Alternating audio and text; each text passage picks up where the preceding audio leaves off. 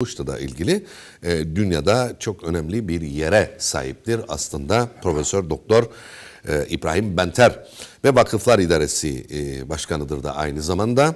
E, onu çağırdık e, çünkü geçtiğimiz günlerde e, biliyorsunuz Lefkoşa'da böyle cıvıl cıvıl e, iki gün geçti. İyilik Festivali çerçevesinde ve birçok etkinlik yapıldı. Tabii ki istedik ki e, hem e, bunu konuşalım hem de e, bundan sonra, e, bundan önce ve bundan sonra neler yapıldı ve neler yapılmaktadır? Bunlarla ilgili istatistikler nelerdir? Ve her zaman olduğu gibi bir akademisyen disiplini içerisinde dosyalarıyla birlikte geldi. Yani e, biz e, lafla değil belgelerle konuşuyoruz diyor aslında İbrahim Bey. E, bu çok çok önemli bir konudur. Çünkü bizim ülkemizdeki en büyük hastalıklardan bir tanesi de e, çok kolay dar ağacı kuruyoruz ve çok kolay da bu dar ağacında bir sürü insanı asabiliyoruz. Halbuki e, İbrahim Bey e, baktığımız zaman yani kişilik olarak baktığımız zaman e, aynen e, Avrupa'da ve Amerika'daki üniversitelerin dekanları gibi e, üç tane dört tane sekreterden geçip gitmiyorsunuz yanına. Yani gidip kapısını çalabilirsiniz, girebilirsiniz içeriye. Soracağınız her soruya da büyük bir açık yüreklilikle size cevap verecek bir e, yapıda e, İbrahim Bey. E, o yüzden bugün istedik ki hem kamuoyundaki bazı konuları konuşalım, dönen konuları konuşalım. Hem de tabii ki iyilik e, festivali ile ilgili konuşalım.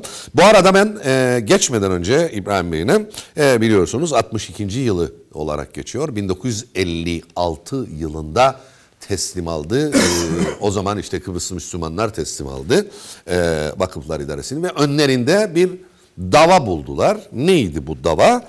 E, bu aslında çok çok önemli bir davadır. Ben buna değinmeden geçmeyeceğim. Mutlaka ama mutlaka değinmek istiyorum. Bunun belgeleri de vardır. E, 1956 yılında devraldıklarında 3 tane Kıbrıslı Hristiyana Fermasan çiftliğinden 18 dönüm arazi İngiliz sömürge idaresi tarafından koçan edilmişti. Kaldı ki biliyorsunuz e, uluslararası hukukun uktesinde olan bir yapıdır aslında Vakıflar İdaresi.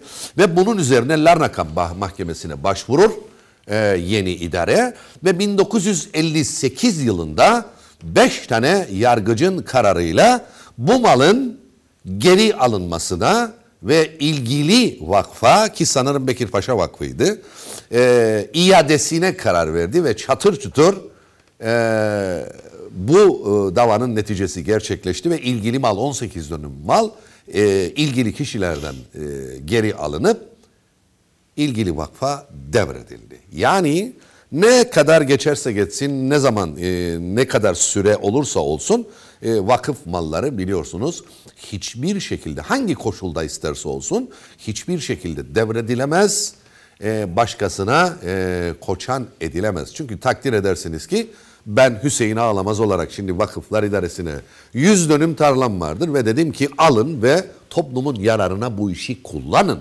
dedim. Kimin öyle bir hakkı vardır ki benim toplum yararına hibe ettiğim bir malı başkasına e, koçan etsin veya başkasına hibe etsin. Böyle bir şey yoktur. E, dolayısıyla e, vakıf malları sizin malınızdır. Toplumdaki her bireyin üzerinde hakkı olan e, mallardır. Her e, sahip olduğu eşyacığa kadar, e, paraya kadar, her kuruşa kadar bu toplumun ve sizin malınızdır. E, dolayısıyla e, buna sahip çıkmak da sizlerin bana göre en büyük sorumluluğudur. Ve tabii ki vakıflarla ilgili öğrenmek istediğiniz bir şey de varsa gerçekten müthiş bir tevazu sahibidir de aynı zamanda İbrahim Bey. Kapısını çalabilirsiniz e, hiçbir şekilde e, o, o kapı sizin yüzünüze kapanmaz. Her gelene de kapısı açıktır ve size her türlü bilgiyi de vermeye hazırdır. Ki zaten bana getirdiği dosyada da biz de yaptık bunun araştırmasını gazete olarak. 2013 ve 2017 yılları arasında e, yapılan iyiliklerin e, yani hibelerin e, karşılığı olarak 2013 yılında 70 bin TL iken 2017 yılında 4 milyon TL'ye çıkmıştır. E, artı tabii buna istinaden benim en çok üzerinde durduğumda vakıfların 2017 itibariyle gelirleri fakat 2017 ve şu günlerde de 2018'deki gelirlerine baktığımız zaman e, gerçekten e, çok çok e, önemli farklar vardır.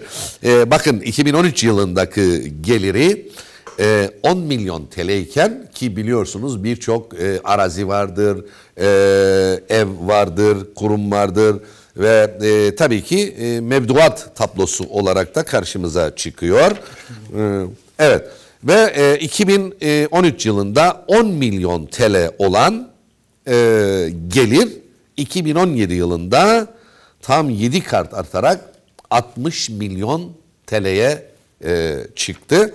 İsteyen de bu bilgileri Vakıflar İdaresi'nden belgeleriyle birlikte edine e. Ve Kıbrıs Vakıflar İdaresi tarafından 2014-2017 yıllar arasında yapılan inşaat işleri de 2014 yılı itibariyle 5 milyon 427 bin 60 TL iken e, 2017 yılında bu rakam e, 11 milyon 707 bin 272 TL'ye e, çıkmıştır. Evet, geçtiğimiz e, cuma, e, e, cumartesi, pazar e, günleri bir iyilik festivali yapıldı Lefkoşa'da, Doktor Küçük e, Parkı'nda. E, gerçekten cıvıl cıvıldı her taraf. E, ertesi günü de yürüyüş yapıldı. E, Lefkoşa Vakıfşehir, Lefkoşa e, adı altında bir yürüyüş yapıldı ve gerçekten çok coşkulu saatler, dakikalar e, yaşandı. Evet, e, hoş geldiniz İbrahim Bey. E, ben öncelikle e, tabii ki e, bu işlerin mimarı sizsiniz. E, zaten görünen köyde kılavuz istemez. E, nasıl hallettiniz bu işleri? Bir Amerika'da yetişmiş bir akademisyen disiplininin tezahürü mü bu? Yoksa gerçekten sizin içinizdeki o derin insan sevgisi mi bunları size yaptıran? Yoksa ikizinin sentezi mi size bunu yaptıran? Çünkü ben e, kişi olarak hep şu felsefeyi savunmuşumdur ve bunu savunmaktan da beis duymayacağım. yani ben e, insanları ne diline göre, ne diline göre, ne ırkına göre ayırıyorum. Ben sadece iki tür insan olduğunu düşünüyorum. Dünyada iyi insanlar ve kötü insanlar. E, dolayısıyla e, biliyorum ki siz de benim gibi aynı mental yapı içerisindesiniz.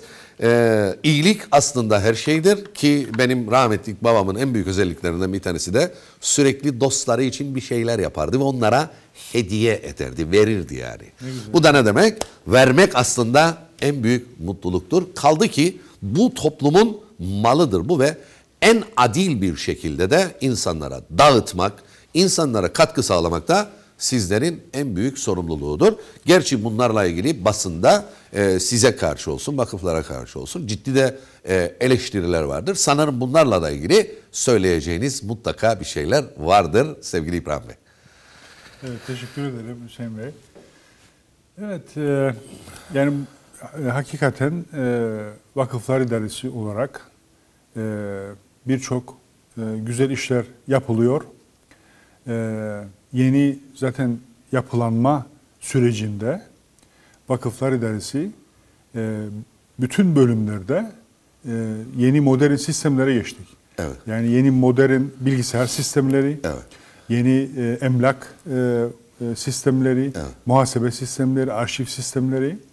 Dolayısıyla yani en son teknolojiyi kullanarak en verimli bir şekilde çalışan bir kurum oldu Vakıflar Kurum haline geldi evet. Evet. Ee, fakat tabii sadece bilgisayar sistemleriyle bu işler Olmuyor. olmaz. Yani insanların e, bu e, düşüncelere, bu işlere sahip çıkması gerekir. Ve bu işleri yapması gerekir. Ve bu e, olan başarılardan ve e, inşallah olacak başarılardan e, sorumlu olan aslında ben değilim. Yani benim e, e, yaptığım sadece güzel işler yapmak isteyen insanların önünü açıyorum. Evet. Yani gerek vakıflar idaresinde iyi niyetli, e, faydalı, güzel işler yapmak insan insanlar vardır. Vakıfların dışında da var çok e, iyi evet. niyetli, güzel Kesinlikle, iş yapmak ki. isteyen. Tabii ki. Benim Vakıflar İdaresi Genel Müdür olarak yaptığım bu insanlara önünü açıyorum, o fırsatı veriyorum, bu güzel işleri yapsınlar. Dolayısıyla bu başarılar yani İbrahim Benter'in başarısı değildir. Bunlar e, hayırsever, e, e, iyi işler yapmak isteyen insanların başarısıdır. Ve toplumsal kaygı taşıyan insanların başarısıdır Evet, aslında. aynen. Yani vakıflara dediğiniz gibi vakıflar toplumun malıdır. Evet. Bizim e, nenelerimiz, dedelerimiz zamanında bu malları vakfetmişler. Hayır işleri için, Evet. topluma faydalı işler yapmak için, iyilik yapmak için. Evet. Dolayısıyla bunu, bu vakıflara biz hep beraber sahip çıkacak. Yani ben genel müdürüsem benim bir sorumluluğum vardır. Ama e, sen de bir vatandaş olarak senin de bir sorumluluğun vardır. Çünkü sen de vakıflarda hakkın vardır. Evet. Her kesimin ne isterse olsun yani e, ister solcu olsun ister sağcı olsun ister dinci olsun ister ateist olsun hiç fark etmez. Vakıf malı algısını herkes ona göre e, bana göre önüne yatırması gerekir. Herkesin malıdır ve bunun talebini de ihtiyacı olduğu sürece veya birinin ihtiyacını tespit ettiği sürece vakıflara başvurmak gibi bir sorumluluğu vardır diye düşünüyorum.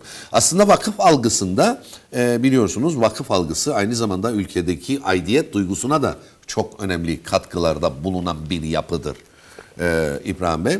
E, ve bu konuda da aslında ülkemizde ciddi eksiklerimiz vardır diye düşünüyorum. Tabii bu 1975'teki yapılanmayla da alakalıdır Evet.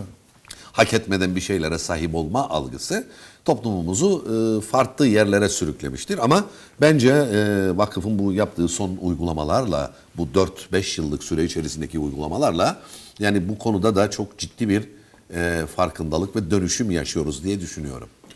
Yani mesela dediğiniz mesela solcu, sağcı, değişik görüşteki insanlar. Yani şimdi bak vakıf demek iyilik yapmak demektir. Evet. Karşılıksız iyilik yapmak demektir. Yani sen şimdi sağcıysan iyilik yapmayacaksın. Solcuysan iyilik yapmayacaksın. Evet. Yani e, bu e, e, eğer toplumun içinde ihtiyaçlı insanlarımız varsa e, okumak isteyen ve ok- parası olmadığı için oku- okuyamayan çocuklarımız varsa bunlara sahip çıkmayacak mıyız? Vakıfın işte görevi budur zaten. Budur. Dolayısıyla yani e, görüşlerimiz ne olursa olsun bu konuya gelince bunları bir köşeye koyacak Evet. ve hep beraber bir araya gelip vakıf mallarına sahip çıkıp Evet. bu topluma yararlı işleri, bu sosyal sorumluluk projelerini hep beraber hayata geçirecek. Başka çözüm yoktur. Evet. evet. Zaten toplumdaki e, ciddi problemleri herkes biliyor. Gençliğin nereye gittiğini herkes biliyor. Esrarın ne kadar yaygın olduğunu herkes biliyor. Yani ve diğer problemlerin. Dolayısıyla yani bizim e, kendi aramızda e, basit e, maskaralıklarla çekişmeye ne zamanımız var ne de bir, öyle bir lüksümüz var. Evet. Mecburuk. Biz bir araya gelip e, bu e, güzel işleri yapalım. Bu çoluk çocuğa, bu gençlere sahip çıkalım. Evet. Yanlış alışkanlıklardan e, şey uzaklaştıralım. Doğru işlere, e, doğru şeylere sevk edelim. E, dün bana biri sordu. E, yahu dedi, bu sene dedi iyilik festivali inanılmaz güzel oldu dedi. Geçen seneye rağmen çok çok daha muhteşem oldu dedi. Ne yaptınız dedi bu sene? Dedim ne yaptık biliyor musun? Geçen sene dedim iyilik festivalini organize eden ben idim. Bu sene ben karışmadım. Gençlere bıraktım işi. Evet. Ve gençlere bırakınca işte böyle muhteşem bir şey çıktı ortaya. Evet. evet. Bu da ne demektir? Biz gençlerimize sahip çıkarsak, gençlerimize bu fırsatı verirsek ve gençlerimizi doğru yolda, güzel işlere doğru yönlendirirsek bizim gençlerimizin yapamayacağı iş yoktur. Yani buradaki gençlerin Avrupa'da veya Amerika'da veya Japonya'da gençlerin bir farkı yoktur ya. Evet. Bu olanak meselesidir Evet. İbrahim Bey. Yani e, şimdi e, yani sağlık e, olayını ele alacak olursak ki aynı zamanda e, MS ile ilgili yaptığınız çok önemli katkılar da vardır dünyadaki MS hastalarına. Yani sağlıkta da öyle değil mi? Yani e, alet edevat işidir bu aslında. Yani siz donanımlı bir hastaneye sahipseniz, her türlü araç gerece sahipseniz tabii ki iyi bir sağlık hizmeti vereceksiniz. Eğitimde de böyledir, diğer e, disiplinlerde de böyledir. Yani e, bu da bize aslında bir rota çiziyor değil mi İbrahim Bey? Ama yani işte orada do- nedir? donatmamız lazım. Yani Şimdi bak o çok doğru. Ee, donatmamız lazım ama e, fiziki yapılara ilaveten çocuklarımıza, gençliğimize insanlığı öğretmemiz gerekir. Evet. Yani bencil olmamayı. Nasıl öğreteceğiz bunu? Mesela Eğitim sistemi- nasıl başlar bu? Eğitim sisteminde Evet. e, mesela vakıf konusunun çocuklara öğretilmesi lazım. Karşılık beklemeden iyilik yapmayı, bencil olmamayı, fakire sahip çıkmayı, engelliye destek vermeyi, yaşlılara bakmayı, her türlü iyiliği, her türlü yardımı daha küçük yaşta çocuklarımıza eğitim sisteminin içinde öğretmemiz lazım. Hem de pratik yaparak öğretmemiz lazım. Evet. Ve tabii ki bu bu e, eğitimi de verirken aileden başlaması da gerekiyor aynı zamanda. Yani eğitimle aile arasında bir senkronizasyon Tabii, kurulması tabii. gerekir diye düşünüyorum. Şimdi e, çok önemli bir konuya değindiniz İbrahim Bey. Bunu işleyelim istersen. E, çünkü e, biliyorsunuz eğitim e, eğitimde bireyi nasıl şekillendirirsiniz o şekilde gider. Yani bugün baktığınızda iyilik yapabilecek bir bireyin sahip olması gereken bazı meziyetler vardır. Şimdi e, bunları ben hep söylüyorum. Sosyal derslerle bu ancak mümkündür. Yani e, bir çocuk e, yaratıcılığını en iyi şekilde ifade edeceği bir eğitim sisteminde resim yapmıyorsa, beden eğitimi yapmıyorsa, edebiyattan nasibini almamışsa nasıl anlatacak kendini? Kaç tane kelimeyle anlatacak kendini? Veya iyi bir kulak terbiyesi yoksa müzikle, e nasıl bu çocuk birlikte bir şeyleri yapıp iyi bir insan olacak? Yani e, gerçekten eğitim sistemi konusunda çok ciddi yanlışlarımız vardır ve sosyal alanlara değinmesi gerekiyor eğitim sistemimiz. Ki vakıf algısı da bu sosyal alanlardan bir tanesidir. Şimdi tabii burada yani pratik de çok önemli. Tabii ben bir eğitimci olarak yani benim tecrübem nerededir? Tıp fakültesinde. Evet. Şimdi tıp Üniversite düzeyi. Üniversite düzeyi. Yani Evet. biz ilkokul, ortaokul seviyesinde tecrübemiz yoktur. Ama yani bir tıp fakültesinde bile e, gördüğümüz nedir? Çocuklara böyle fazla didaktik lecture derler ya kon- Evet. konuşarak e, anlatan derslerin fazla bir şey e, faydası olmadığını gösteriyor. Son zamanlarda yapılan araştırmalar. Evet. Ve sen bir saat konuşacağına çocuğa, e, talebeye bir pratik yaptığında e, gerek mesela bir ameliyattır, gerek başka bir şeydir. Onu daha iyi anlar ve unutmaz da. Evet. Dolayısıyla pratik çok önemli. Şimdi burada e, okullarda da e, pratik yaparak bu e, iyilik meselesini, iyilik yapma meselesini öğretmemiz lazım çocuklarımıza. Şimdi bizim biliyorsunuz başlattığımız bir projemiz var. Bu da iyilik gönüllüleri. En önemli projelerden biridir bu. Yani çocuklar Bence bu en işe- önemli proje. Evet, evet. Çünkü yani vakıflar olarak binalara sahip çıkmak da önemli. Ama e, bu vakıf ruhunu, vakıf düşüncesini, iyilik yapma düşüncesini çocuklarımıza, gençlerimize öğretmek bence daha da önemli. Evet. Ve bu iyilik gönüllüleri gençlerimiz, her yani ilkokul, ortaokul, lise, üniversite yaşındaki gençler bir araya gelip de gittiklerinde de bir fakir aileleri ziyaret ederek bir bir şey yardım götürdüklerinde veya engellileri bir şekilde destek olduklarında, çevre temizliği yaptıklarında, hayvan barınaklarına gidip oradaki hayvanlara bir e, fayda yaptıklarında bu çocukların görüyoruz ki düşünce yapısı değişiyor. Evet, ve kişiliğine detk ediyor. Evet. Yani bu Ve- çok önemli bir şey. Ve tekrar tekrar yapmak isterler. Evet. Çünkü bizim yapımızda vardır. Evet. Yani iyilik yapmak insana huzur verir. Evet. Ve bu bunu biz pratik olarak okullarımızda yaptırırsak, yani nasıl mesela tarım dersi vardı eskiden bilmem şimdi Tabii, varsa. tabii biliyorum. Ben de çok iyi hatırlarım. Tarım dersine mesela giderdik biz mesela bir e, domates, patates bir şeyler ekerdik mesela. Ve çok hoşumuza giderdi ve o ürün çıktığında e, çok e, şey derdik. Alır Mesela şey evimize de evimize götürürdük. Evet. Annemiz babamız derdi ki bak bunu ben ektim, ben Evet. çıktı. Aynı şekilde yani bu güzel işleri çocuklarımıza yaptırdığımızda çocuk onu hayatı boyunca unutmaz. Evet. Kafasında kalır o al hem o karşıda iyilik yaptığının da gördüğü o duygu hem de kendi aldığı o huzur hayatı boyunca onun yanında kalır ve bunu hayatı boyunca yapar. Tabii işte burada nedir? Dediğiniz gibi aile de önemli. Anne babanın da bu işe gelmesi lazım. Onun için biz mesela dedi ki mesela bu cumartesi e, saat 10'da Vakıflar Dersi'nde buluşacak, gidecek, Boğaz piknik alanında çevre temizliği yapacak. Anne babalar da gelsin. Binerik şeye, arabalara, giderik oraya ve çocuk Annesini babasını da gördüğünde o da ona bir motivasyon verir. Çünkü annesi babası yaptı yapınca kendinden beraber çöpleri topladığında ailece böyle bir güzel projeler yaptıklarında o bir eğitimdir. Evet, e, tabii ki şimdi e, çöp olayına değindiniz, değindiniz e, İbrahim Bey. E, işte fakir bir aileye yardım etmek demek ki gerçekten ihtiyaçlı bir insandır ki yardım ediliyor. Tabii ki e, sizin kişi olarak da vakıf politikası olarak da e, şöyle bir eğiliminiz vardır. Yanlışsam düzeltin beni.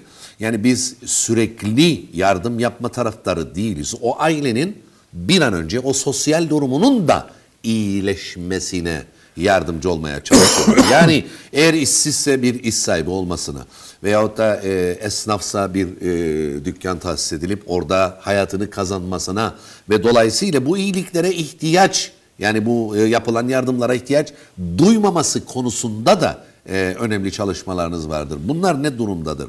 Bu e, önemli. Bir de e, çöp olayında benim hep sürekli olarak sabah ajansında söylediğim çok en önemli şeylerden bir tanesi. Yani bu çöpleri gidip topluyorsak demek ki birileri de atıyor. Şimdi e, tabii ki bu bir paradoks aslında. E, hem de yani kötü bir paradoks aslında.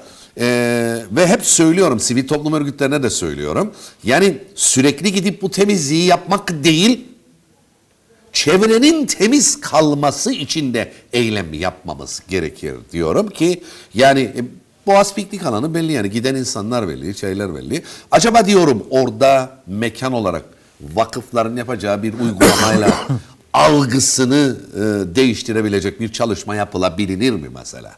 Çünkü biliyorsunuz e, fiziki yapılanma aynı zamanda e, bireyin bazı şeyleri e, doğru yapmasına da etken olabiliyor.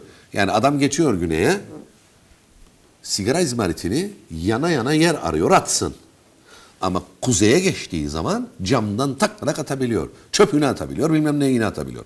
Tabii burada çevre algısı da çok önemlidir. Bununla ilgili çevreye yönelik düzenlemeler yapmayı düşünüyor musunuz? Bu algıların değişebileceği e, düzenlemeler yapmayı düşünüyor musunuz İbrahim Bey?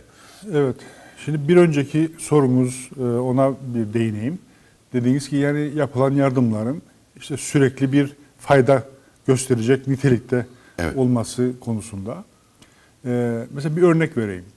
Şimdi e, e, değişik nedenlerden dolayı mağdur olmuş kadınlar var Evet, tabii ki. ve e, evinden ayrılmak zorunda kalıyor. Bazen çocuklarıyla işte kadın sığınma evine gidiyor. Evet. E, kadın sığınma evine gittikten sonra tabii bir zaman sonra çıkacak, Tabii ki. bir kalacak yere ihtiyacı var. Çünkü mağdur olduğu eve dönemiyor. Dönemiyorum. E, ve işte bir iş bulması gerekiyor. Bizim yaptığımız e, çalışmalardan bir tanesi de e, işte bu kadın sığınma evinde e, çalışan e, ilgililerle e, ne yapıyoruz? Bu, bu e, kadınlara bir kalacak yer buluyoruz. Çok güzel. Ee, orada kendi başına ayakta durabilmesi için e, işte eşyasını, osunu, busunu falan şey diyoruz ve bir iş bulmaya şey diyoruz, yardım, yardımcı oluyoruz. Tabii diğer e, yani kurumlardan da destek alıyoruz. Sosyal Hizmetler Dairesi de şeyde yardımcı olabiliyor. Ki böylece kadın e, hem kimseye muhtaç olmadan kendi kalacağı bir yeri olsun. Evet. Hem bir, bir de ekonomik olsun. bağımsızlığı olsun. Evet, ekonomik Tabii ki. bağımsız olsun ki, Tabii ki. kendine ve çocuklarına Faydalı olabilsin, çıkıp tabii. yanlış e, yerlere gitmesin. Evet. İşte bu yani düşüncenin bu olması lazım. Yani sadece bir defalığına işte git bir gıda paketi ver. Bazen o da gerekli. Onu da yapıyoruz. Veya her zaman gıda paketi verip de belli bir alışkanlığa neden olmak da aslında e, çok da iyi bir şey değil aslında. Evet. Dolayısıyla yani bu tip e, şeylerle ve tabii gençlere yönelik de e, şeylerimiz var. Yani bu, bu projeler bu projelerin ben inanıyorum ki önümüzdeki günlerde daha da artacağını, daha verimli projeler olacağını. Çünkü yeni hükümet kuruldu. Yeni başbakanımız Tufan Erhurman da Evet. Bu konularda çok hassasiyeti olan Evet, biri. evet, doğrudur. Ve onunla da birçok defalar konuştuk bu projeleri. Ee, o da hakikaten e, yani bu sosyal sorumluluk projelerine çok önem veren bir kimse. Ee, ümit ederim e, yani daha da güzel işler yapılacak kısa zamanda. E, şimdi e, gerçekten Tufan e, bu konuda sevgili Tufan e, duyarlılıkları olan biri. Evet. E, zaten biliyorsunuz yazardır da kendisi aynı zamanda. Yazan da biridir de. Ama bilmezdim. E, yani aşağı yukarı bir e, 10-12 tane kitabı vardır e, Tufan Erürman'ın. Yani Kıbrıs'a dair, dair yazılmış e, önemli çalışmalar vardır. En önemli çalışmalarından bir tanesi de Kıbrıslı Türklerin halleri diye e, Ha, çok güzel bir çalışma. E, ben gerçekten herkese de tavsiye ederim bu kitap okumasını. E, yani e, çevre algısı e, gerçekten çok çok önemli. o konuya da ben şey Evet diyeyim. yani çevre çevre size aslında diyor ki birinin size söylemesine gerek kalmadan çevre size söylüyor. Beni kirletme diyor size. Yani çöpün konulma biçiminden tutun. O kaldırımın düzenlenmesinden veya kaldırımın üzerine çizilen çizgiye kadar veya ekilen ağaca kadar size öyle bir algı yüklüyor ve diyor ki size beni kirletme diyor size.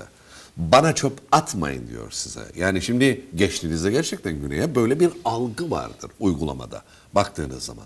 Ama yani kuzeye geçtiği, kuzey tarafına geldiğiniz zaman yani maalesef işte görüyoruz sağda solda işte çöpler falan ve ister istemez sanki burada çöp varmış da ben de oraya çöp atmam gerekir algısı uyanıyor insanın içinde. Yani buna yönelik de bir takım çalışmalar belediye ile birlikte kotarılabilir diye düşünüyorum. Çünkü sevgili Harmancı da bu konularda gayet duyarlılığı olan insanlarımızdan bir tanesidir İbrahim Bey. Ee, şimdi tabii bizim biraz bence, yani ben sosyolog e, değilim Ee, ama bu konularda yapılan araştırmaları okuyorum. bizim e, toplum olarak da biraz kendi düşünce yapımızı gözden geçirmemiz gerekiyor bence. Bir yüzleşme yaşamamız gerekiyor. Evet. Ee, şimdi e, bizim tarihimize baktığımızda, baktığımızda işte mesela vakıfları örnek alacak olursak e, bundan 300 sene, 400 sene, 500 sene önce 447 yıl. Ha, bizim nenelerimiz, dedelerimiz, atalarımız her türlü vakıf kurmuşlar. Yani şimdi mesela Avrupa'da e, işte çe- çevreye dikkat ediyorlar, hayvanlara falan bakıyorlar, ediyorlar. Ama bizim 300 sene önce, 400 sene önce kurulmuş vakıflarımız vardır. Evet. Çevreyi temizleyen vakıf, çevreyi koruyan vakıf, ağaç diken vakıf, sokak hayvanlarını yediren vakıf gibi. Ee, yani Avrupalı'dan 300 sene, 400 sene önce bu işleri yapmış bir geçmişimiz var bizim. Evet. Yani bizim bu geçmişimizi daha iyi öğrenip e, onlardan ders almamız gerekir ki biraz da yani bu kendimize olan güvenimiz, kendimize olan saygımızın gelişmesi gerekir. Yani sen eğer e, güneye geçtiğinde atıyor, atmıyorsan yere çöpü de bu tarafta atıyorsan demek ki burada kendi kendimize saygınlık konusunda da bizim bir problemimiz Ciddi var. sorunlarımız var evet. Maalesef ciddi Halbuki, sorunlarımız var. Yani Tabii ki. bizim yani e, bir de şu var. Yani tarihimizden bizim e, ders almamız gerekir. Bizim tarihimiz de yani çok övünebileceğimiz bir tarih. Yani geçen gün bir konu açıldı da mesela konuşuyorduk şeylerle, arkadaşlarla. ya şimdi düşünsen e, Osmanlı geldi Kıbrıs'ı fethetti. 1571'de. Evet. Bak 1571'de Osmanlı'nın ordusu dünyadaki en güçlü ordu. Yani Kanuni'den sonra gelen Sultan Selim. Evet. En güçlü ordu. Geldiler Kıbrıs'ı fethettiler. Fethettikten sonra Ermeni'ye sahip çıktı. Rum'a sahip çıktı. Maronit'e sahip çıktı. Türkiye sahip çıktı. Müslümana sahip çıktı. e, Hristiyan'a sahip çıktı. Yani bizim övünebileceğimiz bir atamız, atalarımız vardır. Ve bunu öğrenmemiz lazım ki biraz da kendimize olan saygınlığımız artsın. Bak biz bu yürüyüş yaptık ya Evet. e, pazar günü. Pazar günü. Vakıfşehir, Lefkoşa yürüyüş yaptık. Neyin yanından geçtik mesela? Ermeni Kilisesi'nin yanından geçtik. Evet. Bak Ermeni Kilisesi'nin önemi e, ni konuşmamız lazım. Evet. Ermeniler Venedik zamanında, Katoliklerin zamanında kendilerinin bir ibadet etmek için kiliseleri yoktu. Çünkü bilin ya ki Katoliklerle Protestanlar arasında Evet. ciddi problemler yaşarlardı. Evet. Tamam Osmanlı adayı fethedince Sultan Selim bir ferman yazdı. Ve Ermenilere Arabahmet'teki kiliseyi hediye etti. Evet. Dedi ki bu kiliseyi siz alın, yanında da binalarını alın, kendi okullarınızı kurun, İkametgah olarak da kullanın. kendi inancınıza göre, kendi kültürünüze göre, kendi geleneklerinize göre e, ibadetinizi yapın, okullarınızı kurun ve özgürlük içinde yaşayın. Bakınız 447 sene önce bizim atalarımız böyle bir hoşgörü medeniyeti getirmişler Kıbrıs'a. Ve aynı şekilde Rumlara da ve diğerlerine de, diğer azınlıklara da. E, Şimdi e, bizim bunları e, şey edip yani okuyup öğrenip ders almamız lazım. Bizim bir yaptığımız bir çalışma eskiden Osmanlı zamanındaki mahkeme kararlarını içeren bir kitap hazırladık. Yakında onu şey edeceğiz. Mesela örnek vereyim size. Bir Türk Müslüman gidiyor bir Rum'u Hristiyanı mahkemeye şikayet ediyor. Ve kadının önüne gidiyor şey. Kadı o zaman hakim yani. Tabii, evet. Gidiyor. Kadı kim? O da e, Türk Müslüman. Osmanlı. Kadı konuyu araştırınca ortaya çıkıyor ki bizim Türk Müslüman yalan söylemiş, iftira yapmış ve Rum suçsuz. Ve Türkiye ceza veriyor. Rum Hristiyanı da gönderiyor. Bu kaç yüz sene önce Osmanlı zamanında yaşanmış bir olay. Arşivlere girmiş. Evet. Dolayısıyla bizim atalarımız buraya adalet getirmiş. Ee, ve hiç ayrım yapmadan yani millet ayrımı, din ayrımı, ırk ayrımı hiçbir şey yapmadan herkes adaletli davranmış. Bu vakıfları kurarak mesela bizim vakıflarımız vardır. Diyor ki e, vakfın ismi e, Müslüman ve Hristiyan mezarlığı yapan vakıf. Müslüman ve Hristiyan mezarlığı. Yapan vakıf. Evet. Yani vakfın görevi Evet. hem e, Müslüman hem Hristiyan, Hristiyan için mezarlığı. arazi bulup e, mezarlık yapmak e, yapan bir vakıf. E, biz böyle bir medeniyetin torunlarıyız yani. Şimdi tabii ki e, 307 yıllık Osmanlı İmparatorluğu himayesinde bulunan Kıbrıs'ta en çok üzerinde durulması gereken konulardan bir tanesi de biraz önce e, genel hatlarıyla söylediniz ama ben kavramsal olarak bunu aktarmak istiyorum. Üst kimlik olayıdır. Yani şimdi e, Ermeni'ye sorduğunuz zaman siz kimsiniz dediğiniz zaman ben Otomanım derdi. Müslümana sorduğunuz zaman ben Otomanım. Ve biliyorsunuz Amerika Birleşik Devletleri kurulurken e, Osmanlı'nın bu tarafı da örnek alınarak kullan, e, kurulmuştur. Ve bu da tarih, bunu da tarih yazıyor. Şimdi e, ben bugüne bakıyorum. Yani düşünün 1571 1878 yılları 307 senelik bir serüven. Bunu Osmanlı İmparatorluğu başarırken bugünkü politikalara bakıyorum. içinde hep ötekileme vardır. Ama Osmanlı bunu ne yapmış? Üst kimlik olarak aktarmış. Ha uyguladığı vergilerde e, yanlış uygulamalarda oldu, bilmem ne de oldu, toplum tarafından isyanlar da olmuştur. Ama her zaman için e, Kıbrıs'ta üst kimliği korumuş ve muhafaza etmiş de bir yapısı vardı. Yani ben buna özellikle kavramsal anlamda da değinmek isterim yani. Tabii. Ee, örneğin mesela e, Kıbrıs'ta Osmanlılar kitapları e, Mehmet Akif Erdoğru'nun en çok izle, e, işlediği konulardan bir tanesidir ki 1572 e, Osmanlı sayımı ki sizlerin arşivinden alınmıştır birçok belge. Orada da mesela işte kim vardı, neydi hepsi de veriliyor E, ve bunu da nasıl muhafaza ettiğini de e, koyuyor ortaya e, bu arşivler. İşte yani bu e, Osmanlı'nın getirdiği bu vakıf ruhu, vakıf düşüncesi. Yani kimseyi hor görmemek. Yani e, inancından dolayı, milletinden dolayı, kültüründen dolayı, etnik yapısından dolayı hiçbir şeyden hor görmemek. E, farklılıkları bir zenginlik olarak kabul etmek ve adaletli olmak. E, ve e, tabii en, en, en önemli şeylerin bir tanesi de e, yani ihtiyaçlı olanlara sahip çıkmak. Yani çünkü bu vahşi kapitalizmin özelliği nedir? Kendini düşünüyor e, adam. Evet. İşte bu, bunun tam tersi nedir? Vakıf iş, ruhu. Evet. Yani sadece kendini düşünmeyeceksin. Etrafındakileri de düşüneceksin.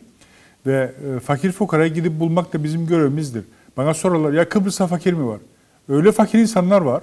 inanamazsınız yani. Çocuk yani okula gidecek, e, ayakkabı, e, üniformalı parası yok. Utanarak gider. Ve bazen de e, çocuğa da ceza verirler okuldan. Yani işte müdür der ki sen e, üniforma almadın. Çocuğu bazen rezil ederler başkalarının önünde. Böyle saçma sapan şeylerimiz de var. Sahip çıkacağımıza e, dolayısıyla bizim görevimizdir. E, bunları bilmek, ortaya çıkarmak ve destek olmak. Evet tabii ki yani şimdi e, biz bu ekranlardan sürekli olarak topluma e, belli bilgiler vermeye gayret gösteriyoruz. Objektif bir pencereden İbrahim Bey. E, tabii ki şimdi ülkemizde e, biliyorsunuz çok ciddi sorunlar vardır. Yani istesek de istemesek de bu sorunlara siz de maruz kalıyorsunuz. Diğer insanlar da maruz kalıyor. Bunlardan bir tanesi trafik, bir tanesi sağlık, bir tanesi eğitim. Nedir bu sorunları ortaya çıkaran en büyük etken? Bakın siz ne diyorsunuz? 2014, 2013 ve 2017 serüvenim vardır benim. Aha tablom da buradadır. Her şeyi de yeniledim.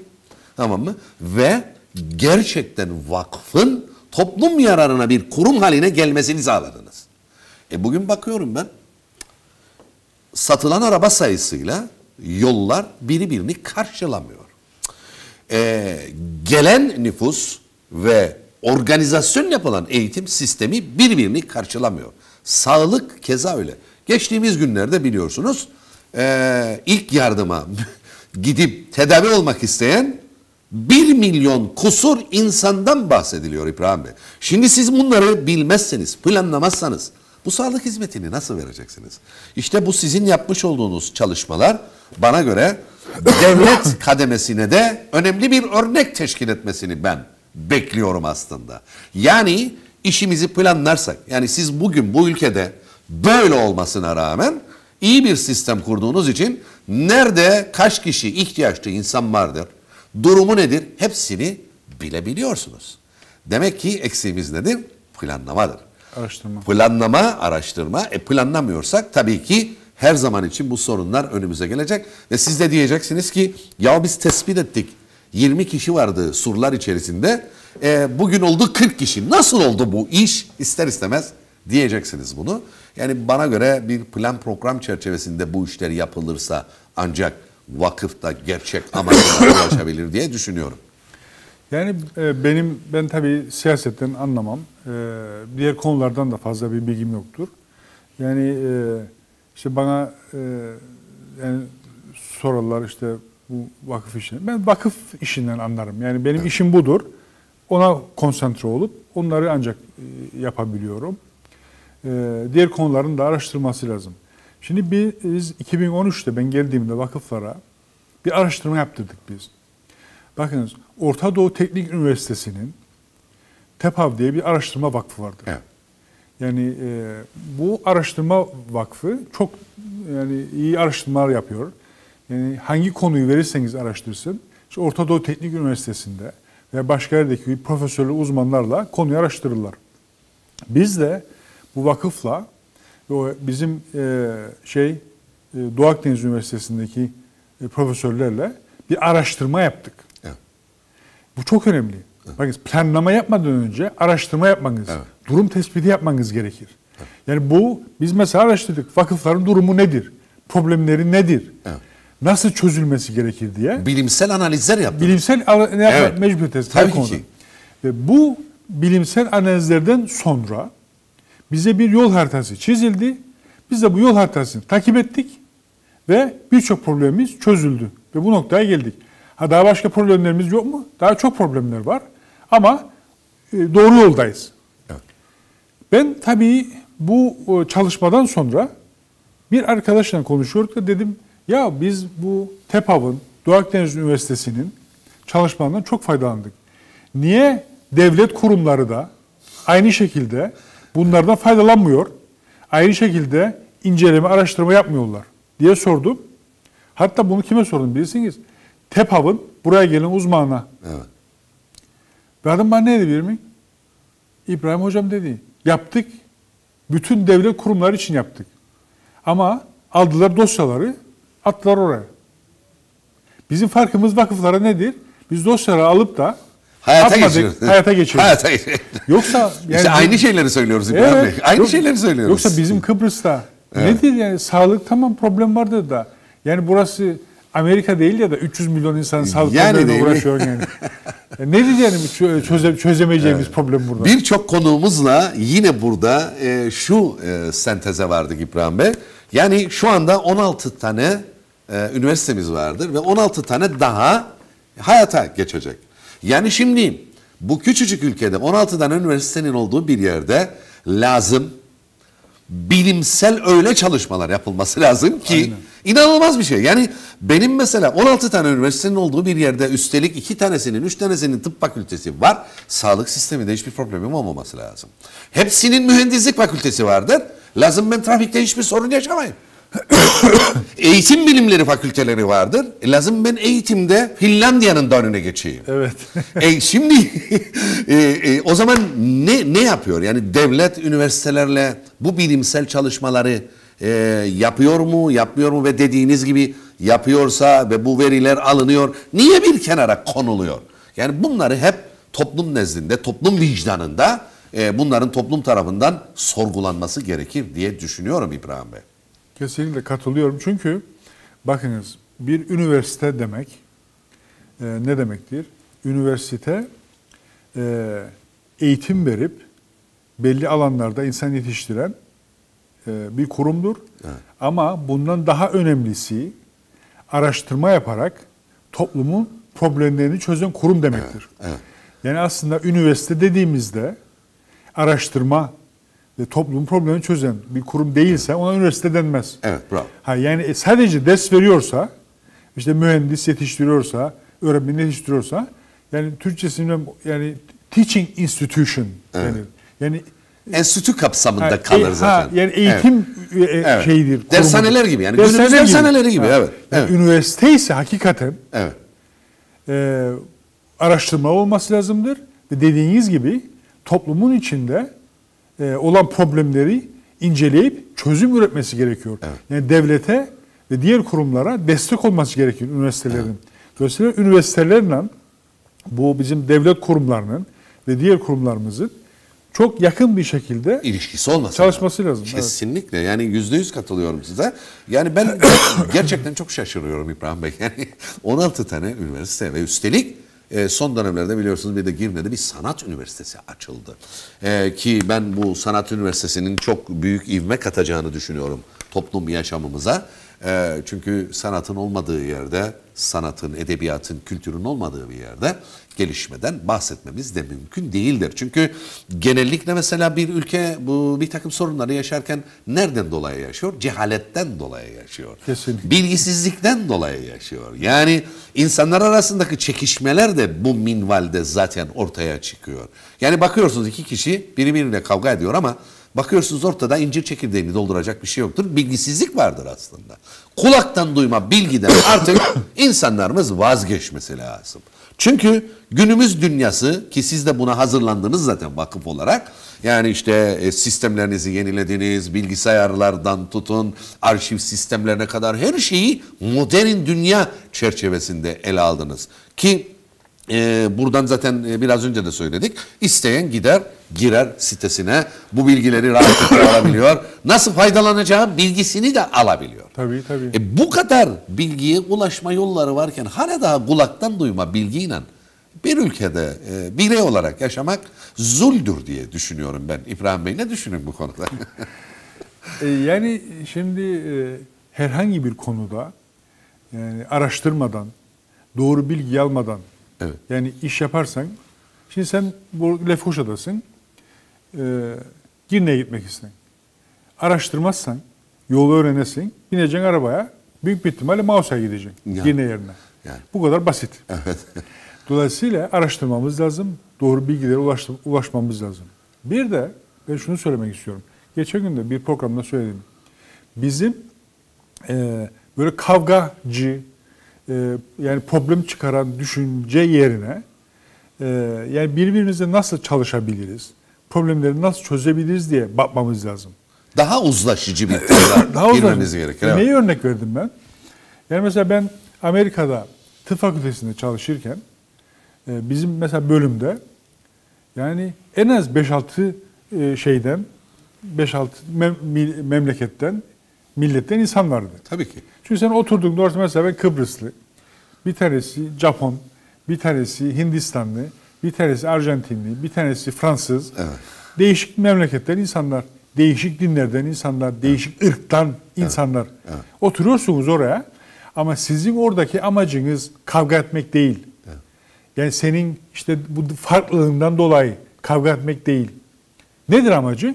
Orada oturup toplumda problem olan bir sağlık problemini çözmektir. Ee, Dolayısıyla e, böyle bir düşünce olunca o değişik yerlerden gelen insanların düşünceleri bir zenginlik oluyor. Tabii ki. Yani tabii benim ki. Kıbrıslı olarak verdiğim bir yaklaşım var, perspektif var.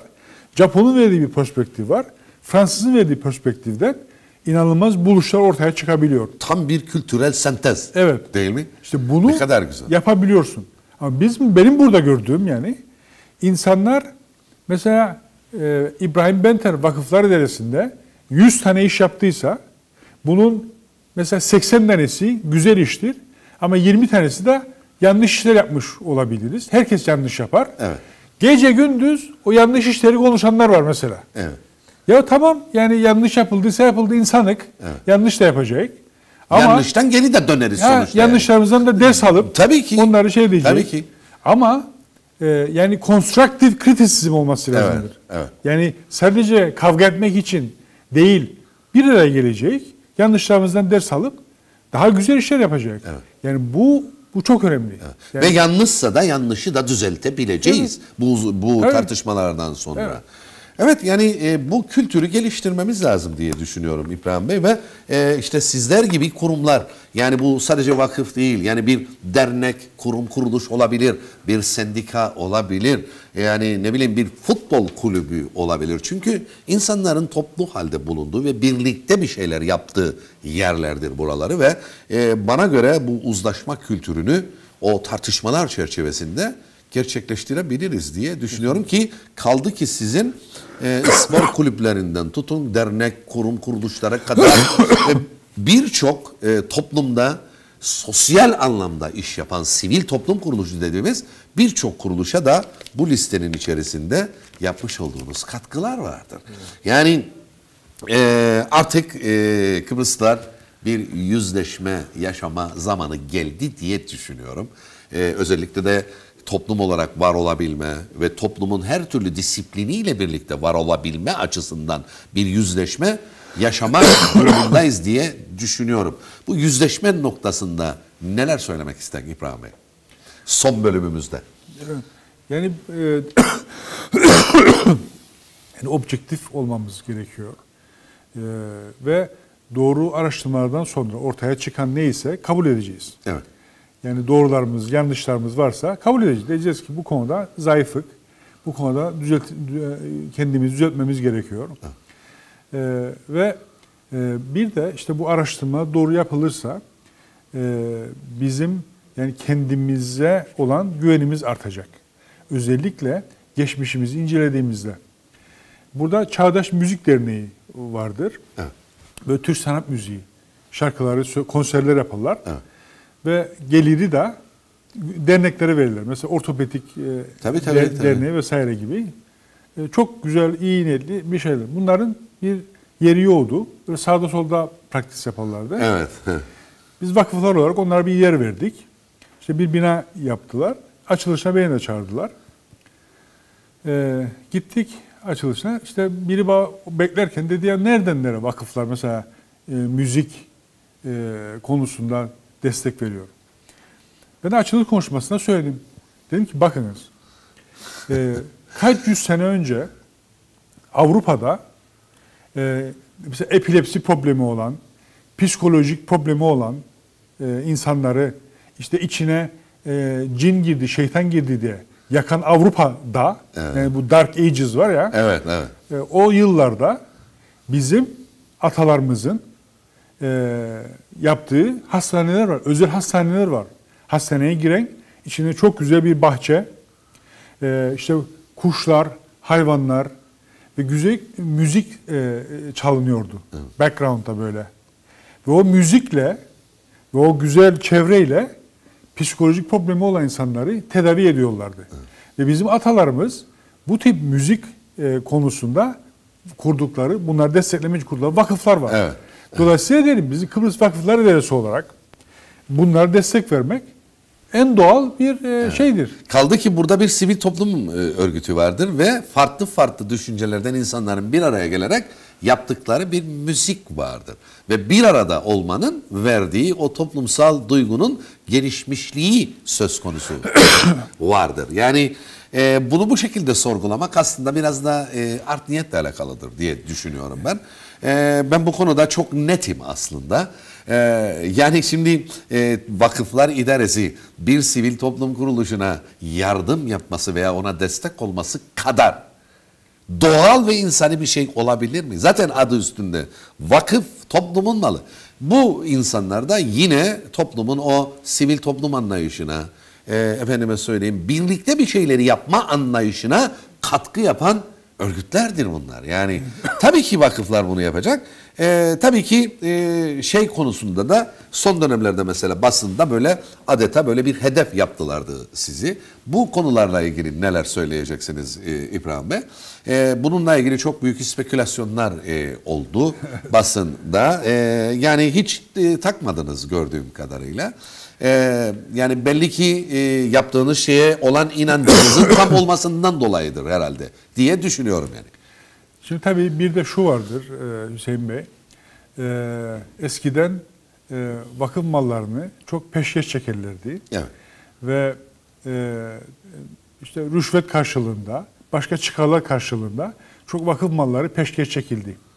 Ve bakıyorsun ki bir mesela bir bina e, aylık kirası 10 bin lira olması gerekirken adam 500 TL oturur.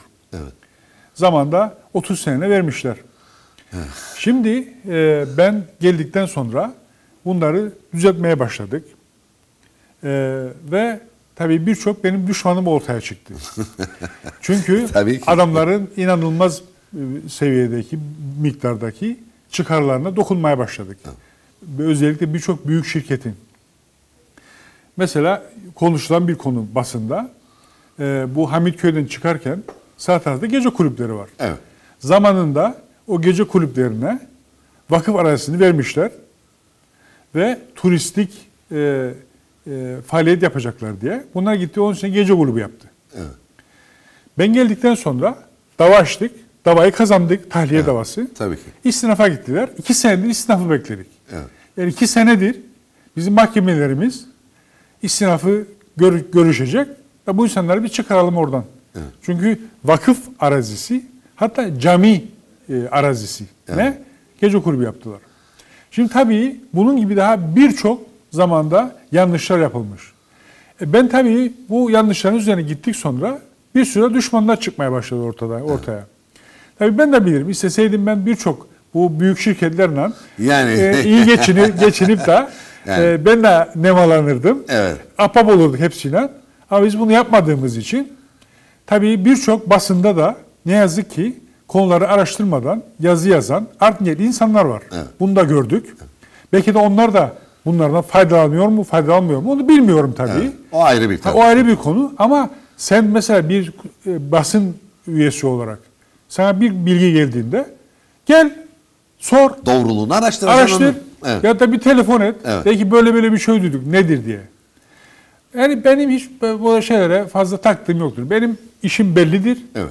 Yaptığım işler de ortadadır. E, toplumda biliyor bunlar ne olduğunu. Biz işimize bakacağız. Evet. Evet. Kolay gelsin diyelim size e, İbrahim Bey. Yani bir saattir konuşuyoruz. ha. Yanlış söylemişsin. Güzel ama güzel şeyler konuşuyoruz. evet. Ee, tabii ki ben e, uzun vadede e, gerçekten vakıfların toplum yararına, toplum çıkarına, bu ülkenin çıkarları içerisinde önemli işlere daha imza atacağını düşünüyorum.